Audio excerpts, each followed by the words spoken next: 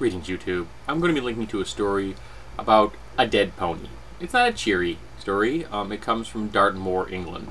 And as an aside, uh, the UK has such wonderful place names. Dartmoor is a great name.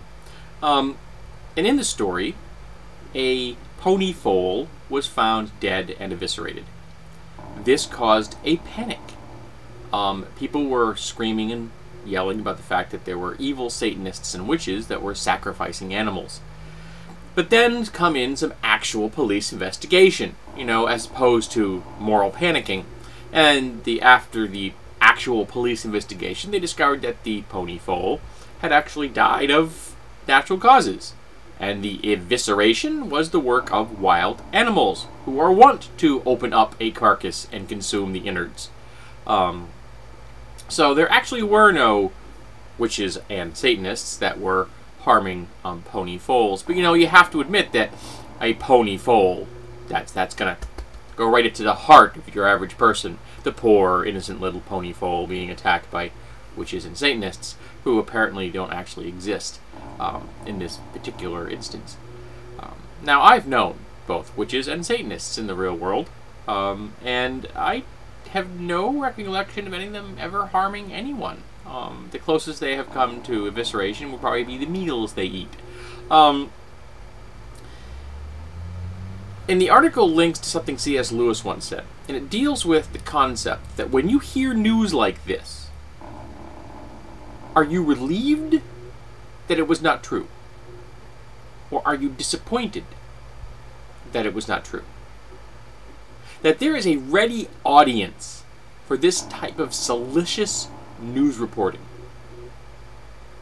That these kind of moral panics find an eager ear in the world at large. Now, in America, we've gone through a number of satanic panics, which have destroyed people's lives. That there are people still in prison for crimes that not only did they not commit, but for crimes that did not and have never existed.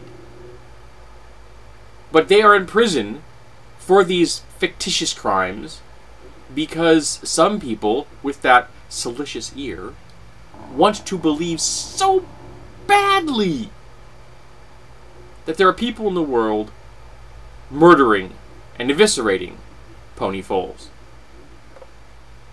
And you're probably thinking, that's that's absurd. The way you're putting those terms, put it, the terms you're putting that in, make it sound like absolute insanity. And you would be correct. It is absolute insanity. It makes no sense. but there are people willing to listen to this. There are people who are eager to listen to this, who want it to be true to justify their own personal prejudices and belief system. That they can then take this information and use it to, to help control the community around them by creating a group of others that they can then prosecute, um,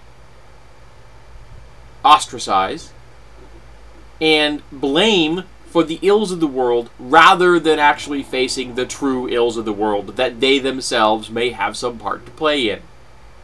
Now, some of these people are could very well be trying to hide their own ills, and some are just trying to grapple with these horrible things that happen in the world and how can they happen? And this does not fit in with my worldview so it must be someone else's fault. And that group over there is really convenient and witches and satanists are very convenient. Also the lgbt community look at the current state of things in russia. Classic fascist thinking. Find a social group.